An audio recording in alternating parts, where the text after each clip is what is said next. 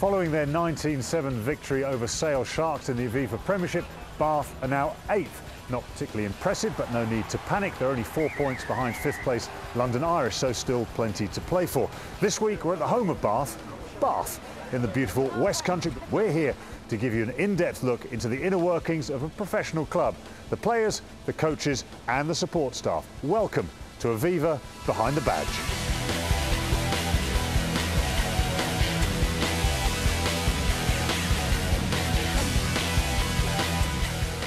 In this week's episode, we catch up with the man behind the muscles, Paul Bunce. It's blood, sweat and tears as we find out what goes into a training session and what it takes to reach the highest echelons in the Premiership. And we get up close and personal with two of Bath's biggest stars, South African internationals Butch James and Luke Watson. The game of rugby is ever evolving, usually in the right direction, and as the rules change, so do the players' physiques. I caught up with Paul Bunce, Head of Strength and Conditioning at Bath. You've been putting your players through their paces. An area like this, for some players, is a place of pleasure. For others, these are instruments of torture. How do you balance out between the big guys, the little guys, and everything in between? I think it's really important that uh, everyone must be aware that they have to train hard, they have to be strong, and they have to be robust to play the game of rugby. So whether they like it or not, they get in here and they do the time. And uh, it's a long season, so it's very important.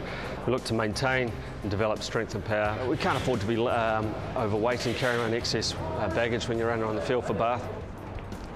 Professional rugby has provided some brains to go with the brawn. Video analysis and tactical appraisals are now a vital part of any match day preparation. Darren Lewis here is the man behind all these gizmos. What is it that you can capture from a rugby field and give to your coach? Basically capture different angles of the game from uh, the end on, side on, tight angles, and they all get mashed together at the end to produce uh, a database. I was going to say, this is terrifying for a player because you can tell how much work he puts into the game, how far he runs, how fast he runs. Exactly, yeah. Different impacts at different contacts, the number of contacts they make, the number of metres they've travelled in a game.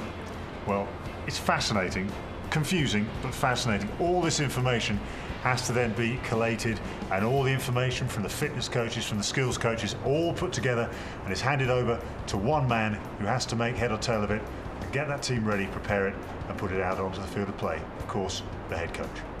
We're approaching the business end of the season and there's still opportunity for Bath to, to push right the way through and, and, get up into those playoff places. Yeah, absolutely, and, and uh, the, the, mix of players in general, I suppose. You know, we've got players coming back into the squad or have been over the last uh, you know four to six weeks. Uh, and there's a few that will, will filter back in over the, over the next two or three. And then when the internationals finish, of course, all those guys will be back and available for us. So that's that's very important. Bath has become a draw card for international players. South African Luke Watson skippered the club this season, and World Cup winner Butch James, also from South Africa, has joined him here at the Rec. Gentlemen, welcome. The old classic rock, paper, scissors. You're going to do that. Whoever loses has to answer the question I ask and answer it as quickly as possible. Simple? 100%. Right. Wait. Okay, let's go. Okay, ready, go. Oh, okay. yes. Luke, okay. You may have a sister, you may not have a sister. I lost on purpose. Okay, if you have a sister, which player would you be happy for your sister to marry? Myself. Go with it. Strong finish, yes! Oh, it's a draw. Strong finish, yes! He's got to Yes! He's got to go. Okay, which player would you not invite to an all-you-can-eat buffet? Probably David Barnes. Uh, as much as I enjoy his company, I just think that his eating habits uh, are very similar to that of a farm animal. Outstanding. One more question. What has playing at Bath meant to you? For me, has been uh, uh, my teammates here. I think uh, they've welcomed me since the first day I arrived here, and uh, I've made some friends here that I'll, I'll keep in contact with for many years to come. And Luke, for you to, to captain the side as well, probably no club, maybe Leicester come close, but no club really has the history and the pressure maybe that's associated with Bath. So there is, there is a lot of pressure, pride and tradition that comes with captaincy, but a lot of honour. And, uh, you know, it's been an absolute privilege for me to be involved in the club up until now. Some great, great characters and individuals within the side, and uh, a side that is, uh, you know, got just enough professionalism and just enough amateur rugby in it. There are 12 teams battling it out, but only one can be the winner. You can get up close and personal with your team and follow them every step of the way. Join us next week on Aviva Behind the Badge.